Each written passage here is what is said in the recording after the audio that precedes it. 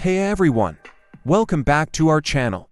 Today, we're diving into the world of adware and malware with a special focus on Victualry.app. If you're wondering whether Victualry.app is adware or a virus and how to get rid of it from your Mac, you're in the right place. So, what exactly is Victualry.app? Well, it's a sneaky piece of software that's classified as adware, and in some cases, it might even be considered Mac malware or a virus. This program can slip onto your device without us even realizing it. Once Victualry.app is on our device, it starts causing problems right away. It fills the websites we visit with intrusive ads, alters our search results, changes our browser's homepage, and even displays zone ads across various sites. The primary goal of adware like Victualry.app is to generate revenue by bombarding us with ads.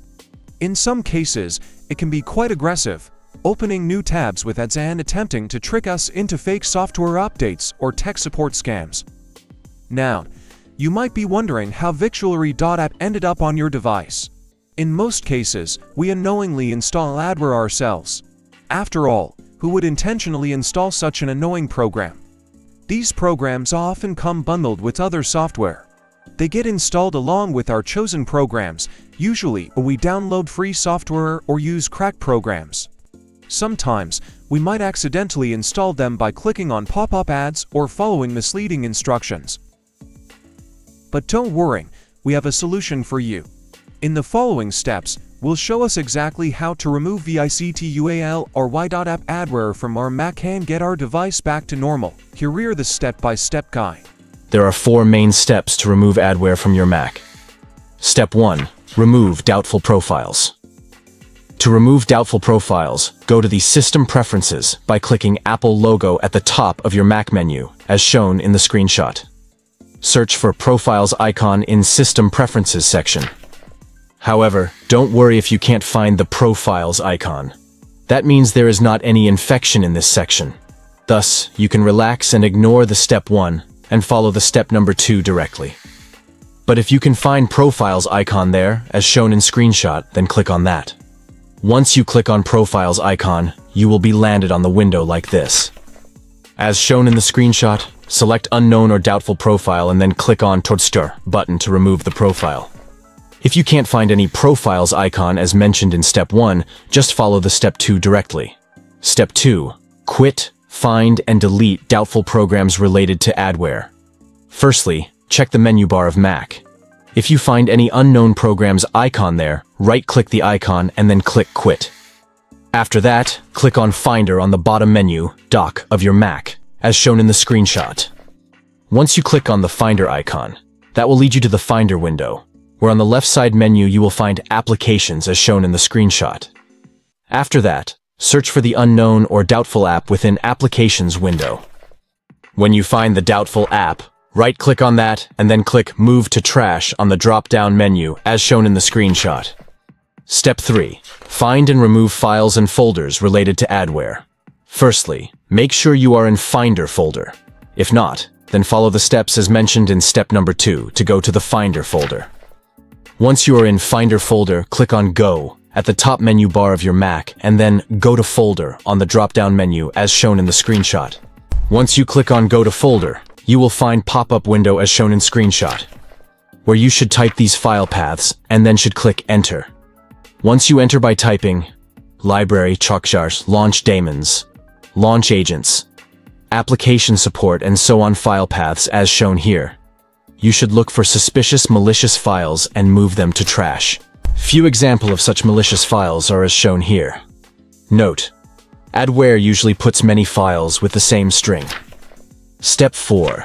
Clear browser's history and cookies. Reset browser settings and remove or disable unknown browser extensions to be safe from adware. Once you delete the harmful files as mentioned in Step 3, you should delete malicious or unknown extension from your browsers like Safari, Chrome, Firefox, Opera, and so on, whichever you are or were using. You should also delete browser history, cookies from your browser, and need to reset your browser. Note, before you reset your browser setting, it is always a good idea to back up your bookmarks. Method to delete history, cookies, and malicious extensions from Safari browser and reset it. Clear browser history and cookies in Safari. To do it, open Safari, click on the History at the top Apple menu, and then click Clear History on drop-down menu. After that, a pop-up window will appear. Select All History there and then click on Clear History.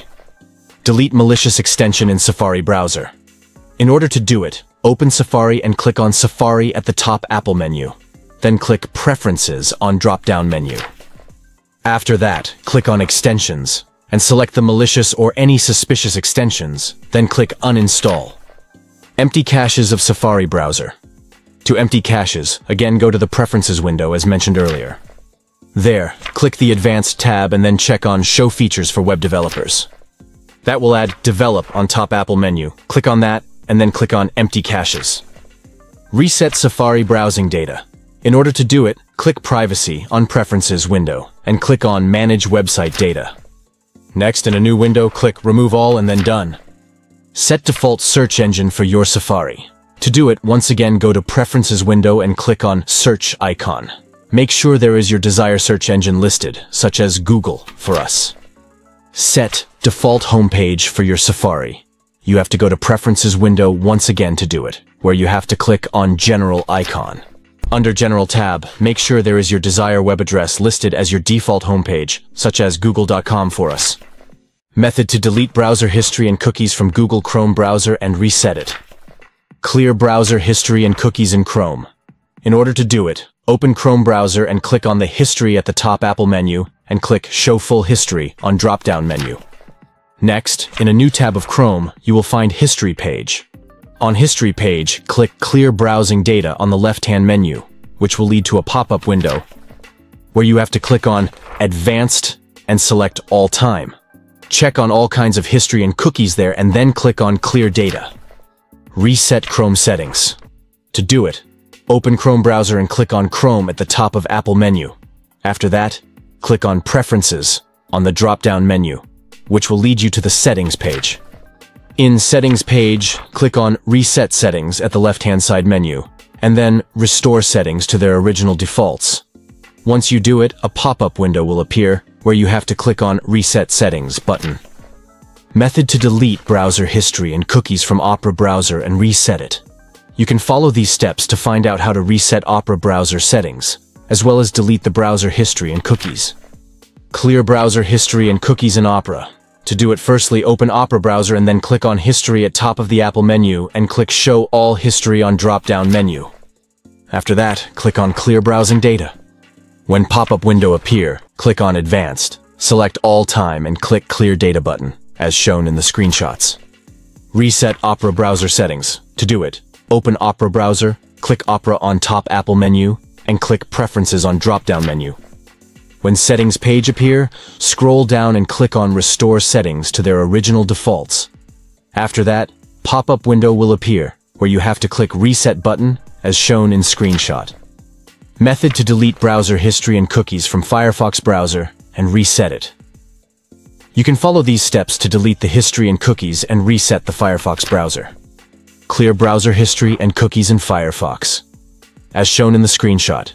First of all, open Firefox and click on History at the top of Apple menu. After that, click on Clear Recent History. Select everything on pop-up window and then click on Clear Now.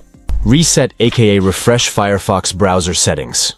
In order reset or refresh Firefox browser settings, firstly, you have to click on Breadcrumb menu at the top right corner of Firefox.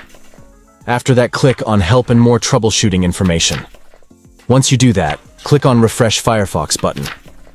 And then again, Refresh Firefox button on pop-up window as shown in the screenshot. Now you know how to remove adware from your Mac.